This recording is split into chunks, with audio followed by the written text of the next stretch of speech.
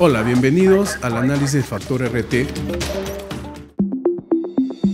Veamos los datos de factor RT que nos mide el índice de contagio para COVID-19 para la semana del 10 al 16 de mayo. Notamos en la curva RT que estamos con un valor de 1.1, que es un valor alto ¿no? con respecto a lo que hemos tenido en semanas previas. Este valor se está pareciendo al valor que se tuvo a fines del mes de enero de este año.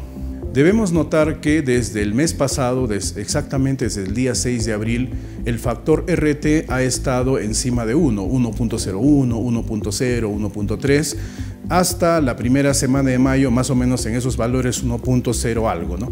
Pero a partir de la segunda semana de mayo, incluso la semana pasada, 6 de mayo que hemos reportado, tenemos valores RT 1.07 y el de ahora 1.1, lo que nos indica que el crecimiento del contagio está un poquito más fuerte. Veamos el cuadro de ocupación de camas UCI para esta semana. Notemos que tenemos 122 camas UCI ocupadas de 126 en total.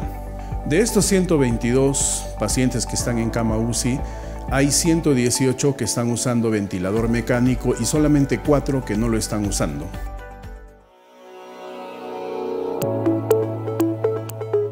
Veamos los fallecidos que nos ofrece SINADEF en este cuadro tenemos que para esta semana hay un promedio más alto. Ahora son 24 fallecidos en promedio en estos siete últimos días, lo cual contrasta con la semana previa que teníamos 17. Estamos en un aumento del número de fallecidos. Debemos notar que para la región Arequipa este valor último de 24 fallecidos en promedio semanal es un valor máximo en el año 2021 Hemos tenido en febrero un valor pico así promedio semanal de 20 y el valor de la semana previa anterior que ha sido de 19, pero ahora con 24 estamos ante un nuevo valor máximo de fallecidos en promedio semanal para la región Arequipa.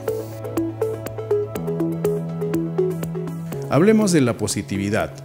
En los últimos siete días se han efectuado en la región Arequipa 33.948 pruebas, de las cuales resultaron 4.004 positivas, lo cual nos arroja un índice de positividad de 11.79%. Este índice, al estar encima del 10%, es un índice preocupante.